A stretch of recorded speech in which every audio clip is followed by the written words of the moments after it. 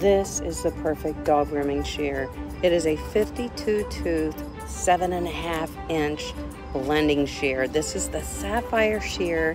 It's my line of shear by Amy Leigh, made and sold only at Kenchii Grooming. Linked in the description. Check out this beautiful Sheltie. Hey, happy grooming, my friends.